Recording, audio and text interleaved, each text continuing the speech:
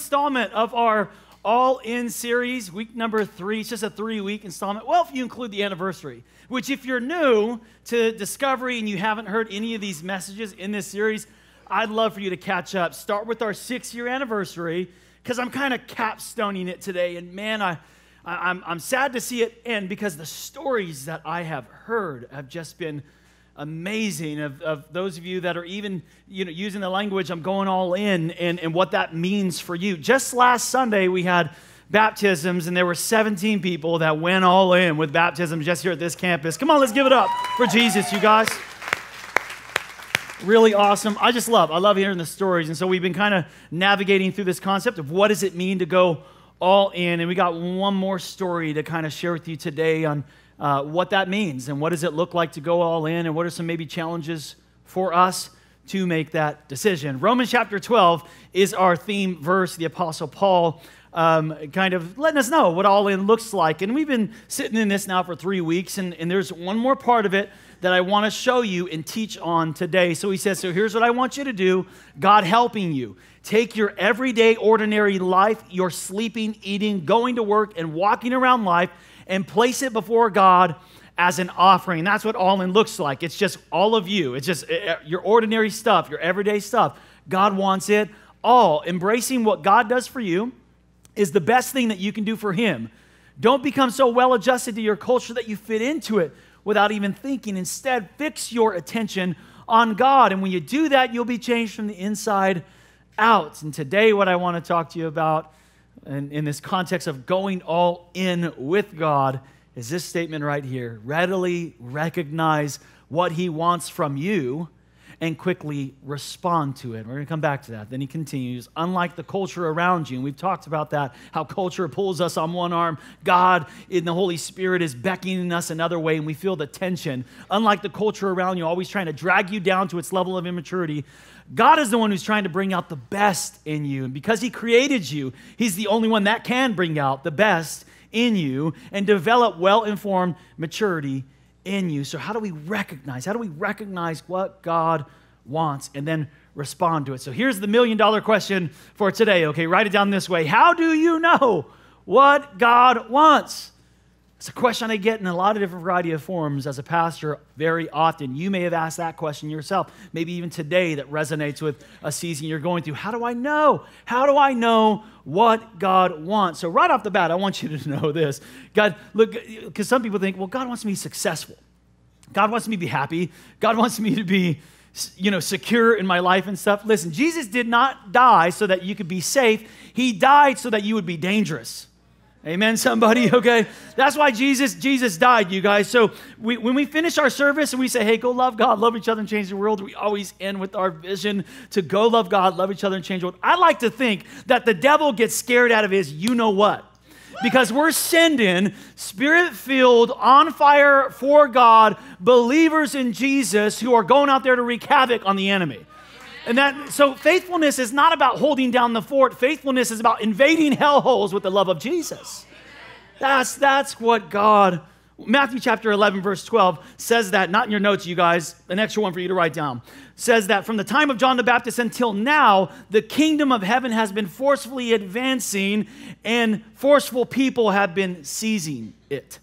Um, the missionary C.T. Studd, a famous missionary, said it best. He said this some want to live within the sound of church or the chapel bells, but I want to run a rescue shop within a yard of hell.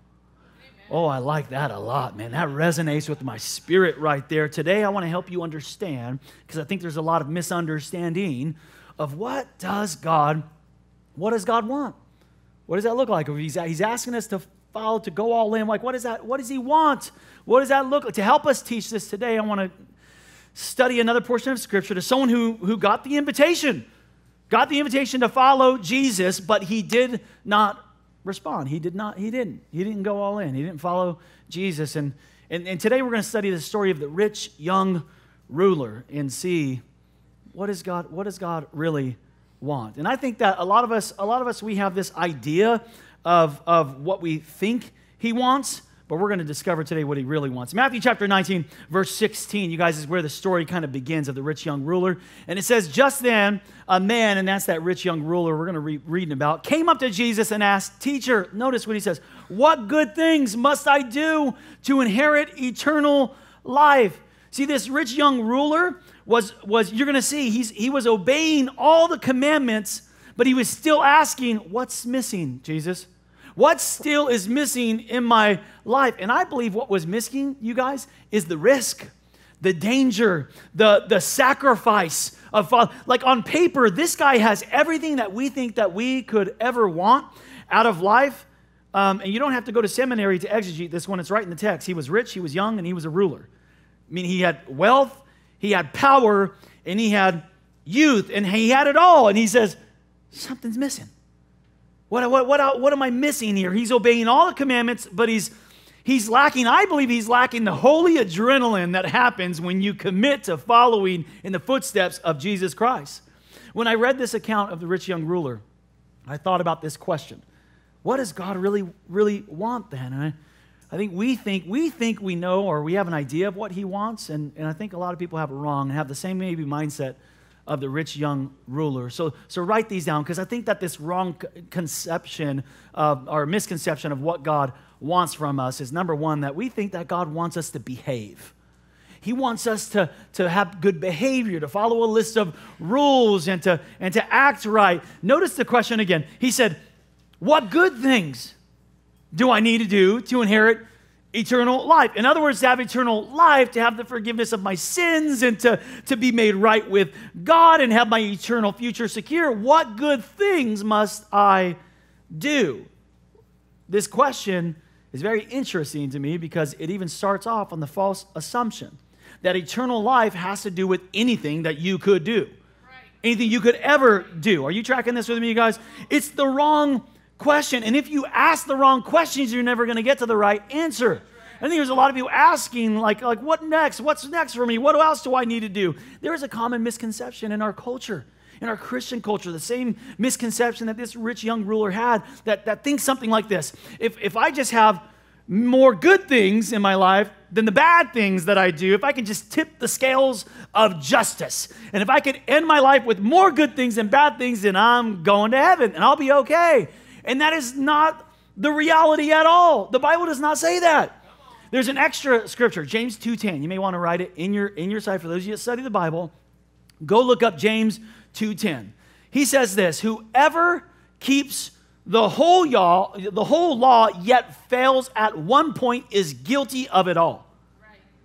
Ay, ay, ay. That's, in other words, if you break one part of the law, you fall into this category that the Bible calls a lawbreaker and you are guilty of the whole thing. There is, listen to me, I just, I want you to get a clear picture of the gospel today. There is no amount of good things that you can do that can tip the scales in your favor. It is only by putting your faith in Jesus Christ that you are saved through grace, that you can have transformation and eternal life. It's the wrong question. What good things do I need to do now? What good things, Jesus? And Jesus continues the story. He says, Why do you ask me about what is good? Jesus replied, There is only one who is good, and if you want to enter life, keep the commandments. Notice that word life. It's just a little like, just it's inserted in there, but I think it's so important that you would see Jesus' intentional words here. If you want life, you see, Jesus did not did not die to make bad people good. Jesus died to make dead people alive. He says, "Look, if you want if you want this life, if you what you're asking for is is life, you need to be made alive. And the Bible says that we were dead in our transgressions, in our sin, and our spirit was dead. And it was made alive. It had this newness of life through Christ, the resurrection of Jesus Christ. So then he continues. He says, the rich young ruler goes, okay, wait, which, which, which commandments then? Jesus replied, okay, let me give it to you. You shall not murder, you shall not commit adultery, you shall not steal, you shall not give false testimony, honor your father and mother, and love your neighbor as yourself. And then check this out. The rich young ruler says, check, check, check, check, check. I've done it. I've, I've done all these. I, I've kept them, the young man said. What do I still lack? What's very interesting to me, interesting to me in this story is that Jesus does not correct that statement. that he did all these So, what we're talking about here, you guys, is probably the most religious person in the entire Bible who, like, and if it's true that he never at all did anything wrong, even if that's true, here's the problem you can do nothing wrong and still do nothing right. Good, look, uh, the, the goodness is not the absence of badness. I think this is something that has been like a great mistake of the church at large is we focus so much on the sins of commission. So the things that, hey, don't do this and don't do that and you'll be okay. All right, okay. But, but what about the sins of omission? The things we should have, could have, or would have done. Listen, potential is God's gift to you. Um, but, but what you do with it is your gift back to God. So let me bring it closer to home, you guys. I just don't think that God's ultimate purpose for your life is to come to church for 70 minutes and think you're good to go. That's. That's what we're talking about in this series, this all in challenge, because you can go to church your entire life and never go all in with Jesus. This guy right here, he was following all the rules, but not following Jesus. So that's my question to you today. Are you following the rules? Or are you following Jesus? Are you following him? If you're not if you're following the rules, then eventually you're going to ask the same question that this guy's asking. What what am I missing? What's missing in my in my life? Is there anything else that's next? Because following the rules, you're going to ask that question. Religion has to do about rules, but Jesus is, is inviting us into a relationship. Every single one of us, he's inviting us into a relationship with him. This rich young ruler, he was he was rich, you guys. His net worth labeled him as such. He was, he was rich, okay? He had assets and he had holdings. And, and what I'm saying here is that he could have leveraged his wealth for so much good for the kingdom of God. He, he could have leveraged it. He was powerful, so he had influence, and he could have leveraged that influence and written a letter of recommendation or caused certain doors to be open because of his influence and the power he had. Would have got the gospel into people's, into people's ears that these disciples would have never been able to do. And he was young, he had all the time in the world, and here he is, he misses it entirely. If you're taking notes, you may want to write this one down. Look, everything minus Jesus equals nothing. Jesus plus nothing equals everything.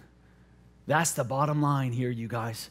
So at the end of the day, Jesus answered this and says, if you want to be perfect, if that's your goal, you want to be perfect, if that's what you're striving for, that's who you're running after, perfection of yourself, okay, go sell all your possessions and give to the poor, and you will have treasure in heaven. Let's be honest, you guys. Have you ever felt bad for the rich young ruler right here? Come on, that's hard, man. I'm like, oh, if I was there and I was like, by Jesus, one of the disciples, I'd probably pull Jesus aside at this moment. You know, I'd be that idiot. Like, come on, Jesus, come over here. Are you sure you want to start with every? How about we start with the tithe? Come on, Jesus, just 10%. I mean, everything? Jesus, but Jesus knew exactly what he was doing. This famous rich young ruler, where did he find his identity in? Where did, yeah, exactly. Where did he find his security in? He was all about wealth, power, and Jesus knew that if he didn't give those things up, that he would never find the abundant life that was offered in a relationship with him. See, I don't care how much money you have in the bank or, or what you have in this, what this world has to offer. It does not replace or substitute any lacking of your emotional, relational, or spiritual life. It does, it does not compare, you guys. It can't make up for the experiences that you would miss by following Jesus. So Jesus throws down the gauntlet, man. He says, no, it's all or nothing. Either Jesus is Lord of all or he's not Lord at all. There's no middle ground here. If you read the Gospels, the Gospel, and you read the Bible, you cannot come away with any other, um, any other end result. Following, following Jesus is an all or nothing proposition. Lordship is an all or nothing proposition. And you know what? Jesus loved this man far too much for, to ask for anything less.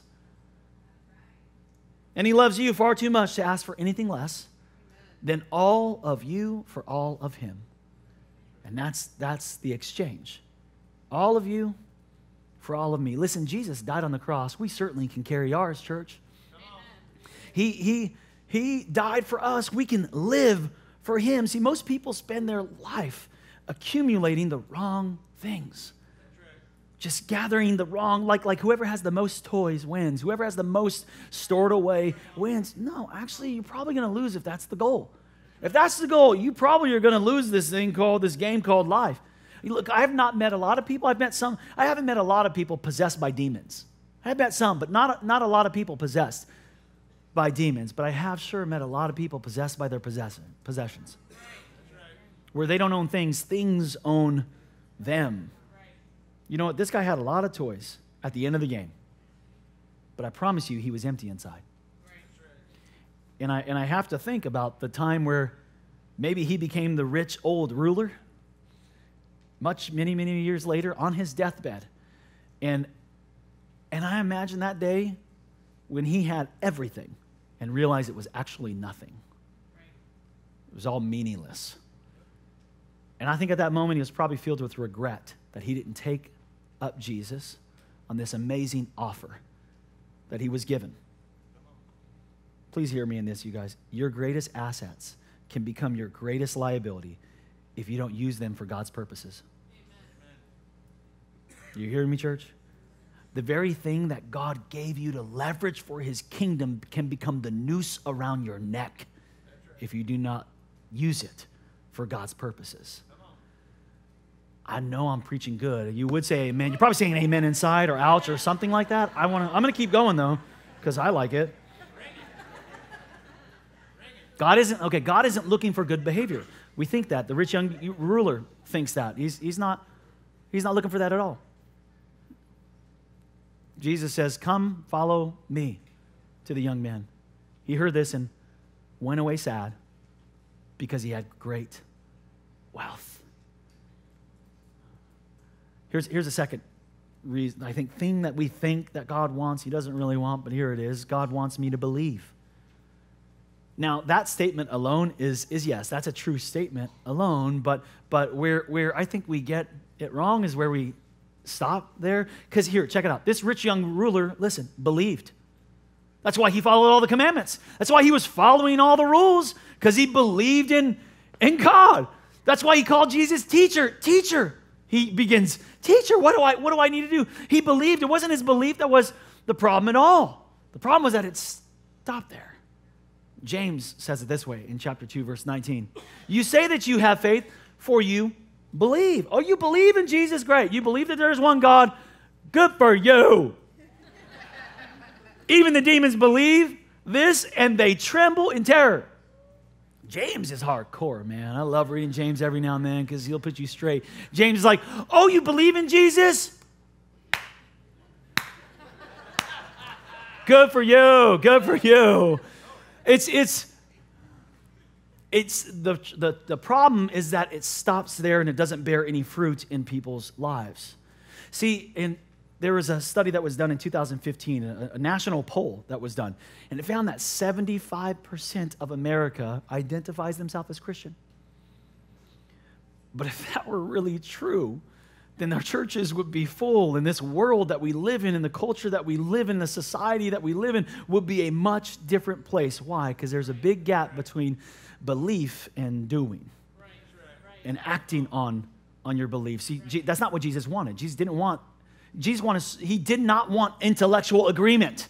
That's not what real faith is, and that's not necessarily what, what God wants. So the disciples, they see this happening. They're, they're standing around and they see the exchange happening. And they see the guy like go away sad. And the story picks up in Matthew chapter 19, verse 23. Then Jesus said to his disciples that are standing there, Truly I tell you, it's hard for someone who's rich to enter the kingdom of heaven. It just is. Those possessions have a way of grabbing hold. You start getting focused on the wrong things. And he says, Again, I tell you, it's easier for a camel to go through the eye of a needle than for someone who is rich to enter the kingdom of God. Wow. The disciples heard this and they were greatly astonished and said, That sucks. Man, well, who, if that guy didn't do it, I mean, that guy was a religious dude, followed all the rules, did all the commandments. He had wealth and he was young and he had power and influence. Who in the world then can be saved. How does this thing even work then? What does God want? All right, capstoning this series, I want to be extremely clear on what the gospel is and what God is inviting you to and asking from us when He says, Come follow me. Number one, that's what He wants. Number one, God wants you to follow him. That's what God wants. He wants you to follow Him. He doesn't want you to follow a list of rules. He doesn't want you to just attend a church. He doesn't want you to measure up. He wants you to come away with Him. Step out of that from whatever you're in, the culture you're in, the things you're in, the scenes you're in. Come out of that, no matter what it is, whether it was fishing or tax collecting, it was, no matter what it was. For this man, yeah, he, he was richer than most, but the, but the call was the same Leave your nets and follow me. Leave extorting people, Matthew, and tax collecting, and which was a wealthy game in their day. Leave it and follow me. Hey, Rich Young. This guy was getting the invitation to be the 13th disciple of Jesus. Which, when we think of it that way, it changes the whole way we interpret the, the, that passage. Look at it again in Matthew chapter 19, 21. We look at this verse and we feel bad for the rich young ruler. We're like, ay, ay, ay, that's a, wow, I don't know if I could do that. So look at it again. Jesus answered, if you want to be perfect, go and sell your possessions and give to the poor. And that's where we go, ooh, that's where we focus. But we miss the second part. And you will have treasure in heaven. Then come and follow. The reason why we feel bad for him is because we're focusing on what Jesus asked, not what Jesus offered. And Jesus offered treasures in heaven, Jesus offered this man an amazing seat at an awesome table. The 13th disciple, come and follow me. Come and get a front row seat to the miracles, signs, and wonders that you will see performed on heaven as it, as it in heaven as it is on earth, you guys. Come and see, come and follow, come and look at me and watch with me and learn from me and eat with me. Man, we focus on what he asked for and not what he was giving. And what Jesus offered in this moment is an abundant life. Is one full of more power, more love, more hope, more peace than we could ever muster up or create on our own strength and power. The man looked at Jesus' offer and he said, What you're offering is less than what I have. He didn't know. He didn't know what he was giving up. And very a lot of us are at different stages of following. We're at different stages of, of like what it looks like to follow Jesus. And discovery is a place, and we always like to say this, man. Discovery is a place where you can investigate your faith, where you can figure out this whole faith thing, Jesus thing, God thing, Bible thing. Feel free to, to you belong here. You can do that. You can be safe here. Ain't no one going to judge you or twist your arm or anything like that. But all of us are at different stages of our walk with Jesus. And, and uh, Rick Warren, who's a, a, pastor in, in Southern California, wrote a book. You guys have maybe read it, The Purpose Driven Life. And he actually created this, this diagram that I want to show you. It just it, it shows the stages of following Jesus that most of us fall into. And it's shown by, by circles. And, and from the outer circle to this inner circle of being all in with God, we're all at different stages of being on the outer circle to all in with God. I just want to show you because everyone fits into one of these categories. The first category that he says that people fall into is what he, what he calls the community. And those are the people that are kind of outside of the, the voice of and the presence of Jesus. They are people who may have heard uh, about Jesus, but they're in a different town. They're not coming. They're not, they don't have nothing to do with Jesus. They don't want to. There are people in our city that may, you know, don't have any idea about discovery at all, which is so cool. It's almost everywhere I go now. People know, like you're inviting someone that they know know comes to Discovery, and it's amazing. It's really cool. But these are people that are on the outside. That next category, that next step is what he calls the crowd. And those are people that, like when Jesus was around in their area, in the vicinity, they're going to come. They're going to come. They're going to be part of the large crowd. So they like the teaching, they like the inspiration, they like the scene, they like the donuts, they they like the vibe, they like the inspiration. I like to feel good, so I'm in that crowd level. I'm going to come around when it's convenient, when you're in my scene, because I like the inspiration that I feel. And so many people are in that category. They're just kind of, you're kind of in the crowd, you're in the crowd, and that's where you're at and following Jesus. But that next step to closer to Jesus is what he calls the congregation. Those are people that said, I'm going where Jesus goes. I'm, I'm, uh, wherever he's teaching, I'm, I'm going to go. So those would be like the church. It's the church. Like this is this is my church. I'm going to be here, man. I love I love it, and I and I and I and I, and I want more. But but this listen, Jesus did not die so you can go to church. Following Jesus is not about you going to a church or committing to a church. As much as I love church and I, I'm a pastor and I love church, that's not what it's all about. That's not what it means to go all in. That all in next step for some of you is what we call committed. And that's what we've been talking about in this series is to fully commit. The biblical word is consecrate yourself. Fully devote, fully commit yourself to God. Go all in, leave nothing out. Say, God, I'm all yours. Look, that's what Christianity is. That's what it means to follow Jesus truly, and you can be at any one of these stages and you're still figuring out, I get it, but I just want to tell you this. You, have, you feel free to take the steps that you need to take at the pace you need to take it, but I want you to know it was never intended to work that way. Like, like your faith in Christianity and this thing, following Jesus, doesn't work unless you're all the way in the center, unless you're fully devoted, your whole heart given to God. God wants you to follow him. Here's the second thing God wants God wants you to hear from Him. God wants you to hear from Him. He wants you to be close enough to Him. The reason why He said, He's come follow me, come out of that, come follow me, so that you can hear His voice. And hearing God is not for a select few, church. Hearing God is not for certain pastors or, or people that are extremely holy that just spend their all day praying and meditating. No, God is a spirit, the Bible says. And those who worship Him worship in spirit and truth. And God wants to speak to your spirit being inside of you. He wants to lead and guide you. He wants you close enough that you would hear His voice, that you would hear Him lead and guide you. Come, follow me. I, want to, I got some things to say. I want to speak to you. I don't know if you've ever got a phone call. You probably have. Everyone here gets certain phone calls that all you need to hear is one word, and you know who that person is.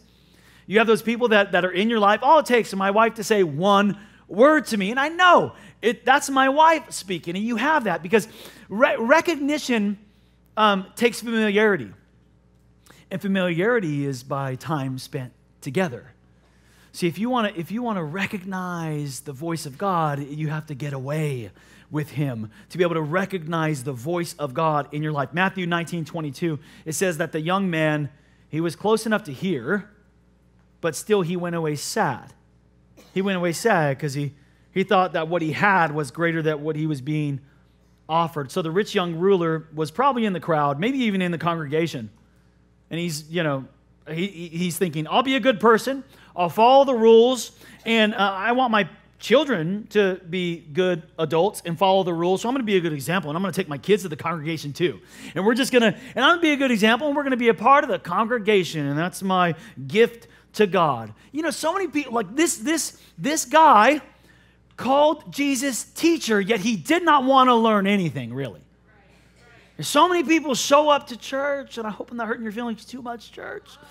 They show up to the congregation and we call Jesus teacher, but we don't want to change anything. We don't want to learn anything. God wants you to hear him. But this guy heard him. He just that's why that's why there's a third thing. Here's the third thing that God wants you to do. God wants you to not only hear him, he wants you to respond to him. He wants you to respond to his voice. And listen to me, how you respond to God determines how God responds to you. Okay, however you determine, wherever you're ready to step into, God will reciprocate that. God, God will. So you read the story of the, the prodigal son. The prodigal son says, Give me my inheritance. I want to I want to do what I want to do with it. And God goes, All right, kid. That's okay, kid. Here you go. He didn't stop him. He didn't go chase after him. He said, All right, that's what you want. Go ahead, go out there. He's and all he did was sit in the porch and wait. And wait. However, you respond to God determines how He will respond to you. It's not just about hearing God, but responding. John chapter 10, Jesus says this that my sheep, they don't just hear, they listen. There's a difference, right? To hear and listen. Your kids might hear you, but they ain't listening to you, do they? They heard you when you said, make your bed or do the chore or whatever it was, but they ain't listening to you. Jesus says, My sheep, they don't just hear me, they listen to my voice, and I know them, and they do what? They follow me. See, Jesus is inviting you to a new a new life. That's what this follow. It's not it's not just a better life. It's not a refurbished life. It's not a improved life. He's inviting us to a new life, a new creation. So let me pick up the story here um, from where Peter, you know, Jesus says, not even a camel can, you know, you know, get through the eye of the needle. So hard for a rich man to answer. And he says, who then can be saved? And then we pick up the story in verse 26. Jesus looked at them and said, with man, this is impossible, but with God, all things are possible. See, this, this statement is true in a lot of contexts, and we use it in a lot of contexts. It's true. With God, all things are possible. What's interesting, though, is that the context of this was talking about your soul, your salvation. Hey, you can't be good enough to save yourself. There's no amount of good that you can. You can't with, with you, but with you, it's impossible. But with God, all things are possible. Amen. Peter answered to him, We have left everything to follow you. What then will be for us? Like Peter's like, oh man, we put all of our chips in. Jesus, we went all in. We left the net. We left the business. We left the family. We left it all and we went all in. Did we make the right decision, Jesus? This is sounding different to me. So Jesus tells them, he, he assures them, which I want to assure you today. I want to make the same statement. Jesus says, Look, hey, I know you went all in. Truly, I tell you, at the renewal of all things, when the Son of Man sits on his glorious throne, he's talking about that day, uh, that judgment day, at the end time day. He said, You will have followed me, will also sit on the 12 thrones, judging the 12 tribes of Israel. And I'm not going to get into Revelation with you and end time study stuff, but these disciples will actually have a, a high seat at the table of end times. They will be judging the 12 tribes of Israel. But then he says something to every single one of us. He said, and everyone, everyone, not just the disciples, but everyone who has left houses or brothers or sisters or father or mother or wife or children or fields, whatever it is that you possess, for my sake, you went all in. Here's what you're going to receive a hundred times as much. And not only that, you'll inherit eternal life. So you want to know what God wants? Is this exchange Worth it? Absolutely. Absolutely. So, what does God want? Write it down this way God wants, He wants your whole heart. He doesn't want your things, He doesn't want your stuff, He doesn't want your behavior. He wants your whole heart. Jeremiah says it like this God, prophetically speaking, you will seek me and find me when you seek me with your whole heart. So, in this series, give me just a couple more minutes, you guys. I'm going to land this in a moment in this series, in part one, we talked about that, that guy who got the invitation. And he said, he said, oh, but first, but first I got to take care of some things. I got to handle this. And, and we do that with God. That's, a, that's our priorities. Some of us, the reason why we don't accept the invitation to come follow me is because our priorities, other things are first. They're robbing that place that God was designed for in your life and in your heart and in your commitments. We have the but first excuses. In part two, we talked about Nicodemus, where it was about he didn't follow because of the people and places that he was in. He was, he was around important people and good places, and he didn't want to leave those people or places to follow Jesus. And that may be where some of you are at today. Maybe it's your priorities, maybe it's the people you're around, the places and scenes that you're in that prevent you from following Jesus. But today, this rich young ruler, it was not because of his his priorities, the people or places, it was because of his possessions. His possessions, his things, the earthly treasures prevented him. I don't know, that all in, ex- I don't know. The exchange don't look too good, Jesus. Eternal life, you know, follow you, but I got a lot of stuff. And a lot of people don't make the exchange to go all in because of the stuff. Why is this important? Why did Jesus lay down the gauntlet like that? Why? Jesus said this in Matthew chapter 6. For where your treasure is, there your heart will be also. Hey, you want to know? You want to know if your heart is with God, if your heart is in eternal thing? It's really easy. Jesus says, really easy to find out. Follow your money. Wherever you put your treasure and your money, he says that's where your heart will be also. See, some of you, your heart is in your home because that's where all your treasure and money is. Some of your heart is in your hobbies because that's where it's all is. Some of your, your heart, you park it in your garage, maybe, or it's in a cabin, it's in a car, it's in a bank account. Wherever people put their money, Jesus says that's where your heart will go. See, your investment leads, your heart follows. Your heart follows whatever you invest in. You in, wherever you are investing in, your heart follows.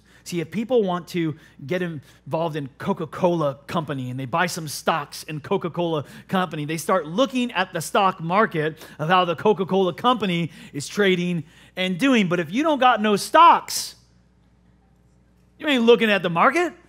You're not looking at Coca-Cola. It's the same thing with God. If, if you want your to when you invest into eternity, and you will start weighing your decisions in your life based upon the investment you have made in eternity. Wherever your treasure is, Jesus says, your heart will be also. Where you put your money and time, it reveals a lot about your priorities. I mean, you say you love Jesus, but how much time do you spend with like with Jesus? I mean, do you if you looked at that, do you really love him like you think you love him? I'm gonna get real with you guys. You thought, okay, is this real now? Okay.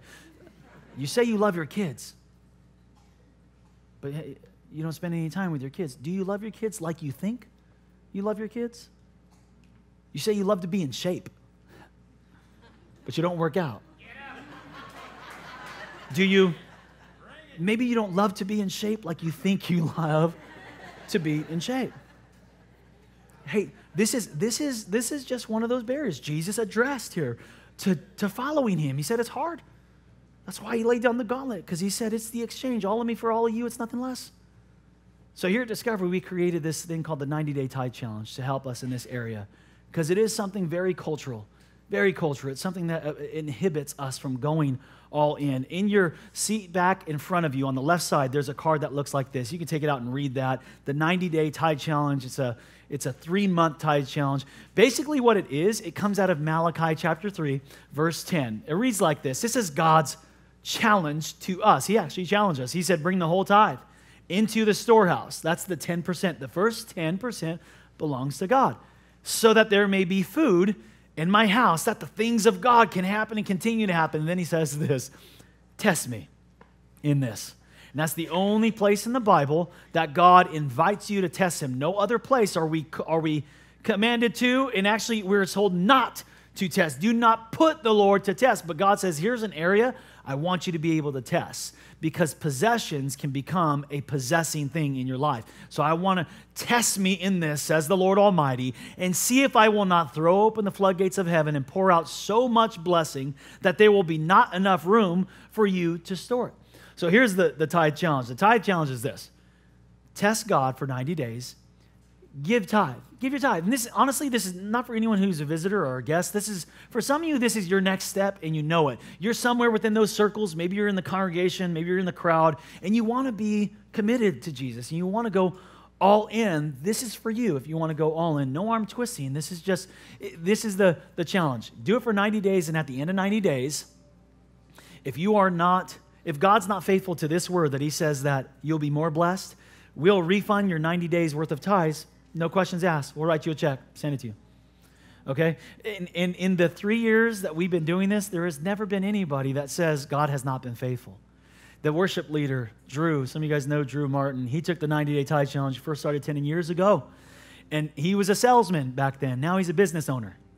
Uh, I'm just, there's so many testimonies. I have one of them here. It's from Sal. Saldana, and some of you guys know Sal.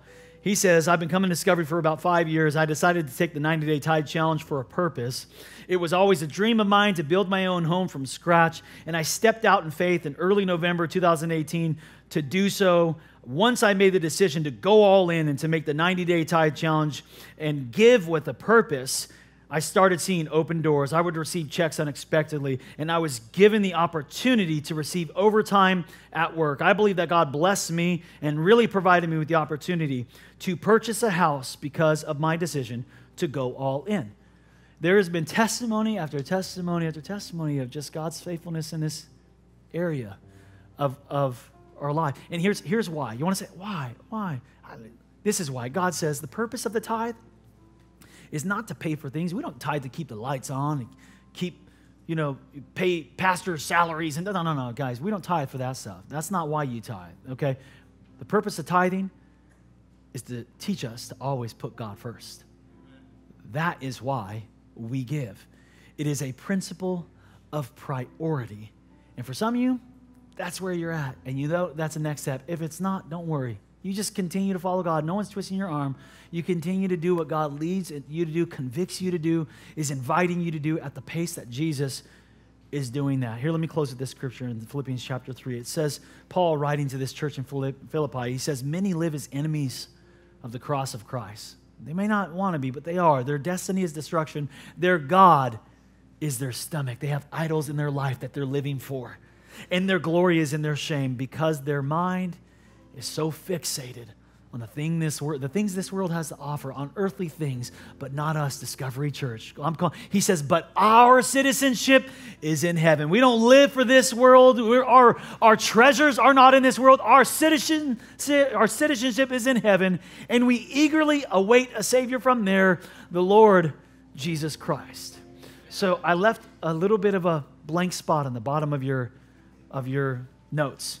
And I want you to write in something if you're ready. If you're ready, only if you're ready. And I've been telling you to do this every week to mark the day and go all in and give God a year of your life. If you're new and that's the first time you're hearing that challenge, I want to make it to you. Mark this day on your calendar and give God one year and go all in. In your priorities, your people, your places, your possessions, everything. Just go all in with God and just see if it's not a hundred times better. Not only is it eternal life are we given, but it's better. It is better. So if that, and you're ready, if you're ready for that, on the bottom, I want you to write something like this I'm going all in. And as you write that, it's your commitment to God. I'm going all in. Write that down and let me pray for you. Go ahead and bow your heads all across this worship center. God, I thank you.